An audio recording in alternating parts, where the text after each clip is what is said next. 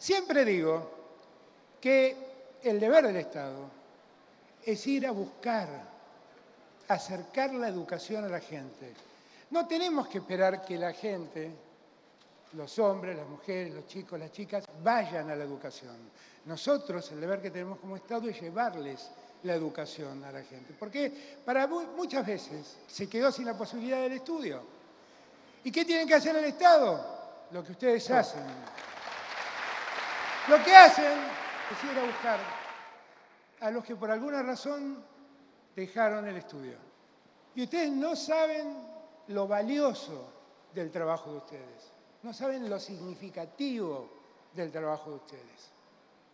Primero quiero decirles que ya solamente el hacer esto voluntariamente los convierte a ustedes en personas maravillosas en un tiempo donde el individualismo pesa más que la solidaridad. La solidaridad de ustedes es infinita y deben estar orgullosos y orgullosas de la solidaridad que tienen, de ir a buscar en cada casa donde hace falta que llegue el estudio.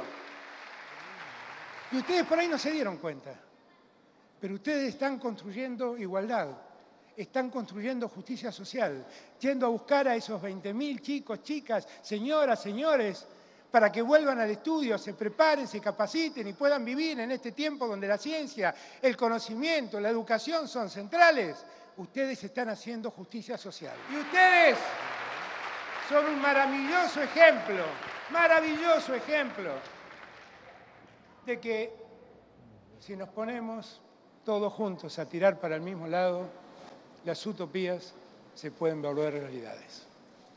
Muchas gracias.